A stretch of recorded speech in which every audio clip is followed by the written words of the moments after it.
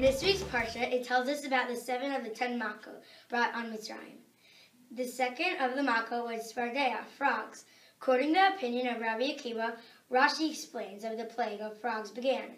Rabbi Akiva says that at the first one, large frog out of the Nile River, and the Egyptians did not like it, so they hid it. As they struck it, it multiplied and doubled. Let's try and picture the scene. One big frog comes out of the river, and the Egyptian picks up a stick and hits it. When he does, the frog multiplies into two big frogs. What do you do now? Maybe put down a stick? Not the Egyptians. They all grab sticks and beat all the frogs again and again and again. Now instead of two frogs, there were hundreds of little froggies jumping mm. all over the place.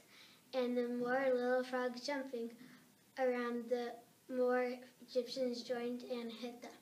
The more times they stuck the frogs, the more frogs they were. This seems a little bit silly. At some point, should the Egyptians not have realized that they should just stop hitting the frog? Just imagine how much simpler this plague would have been. The Egyptians stopped when five or six little frogs were jumping around.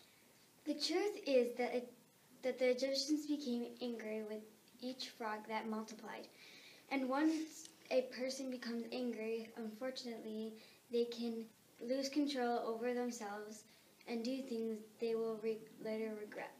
In this case, the Egyptians were so angry that they refused to see the options solutions to their pro- problems.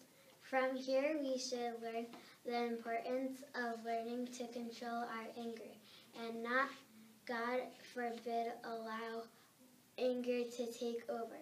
Shabbat, Shabbat shalom. shalom.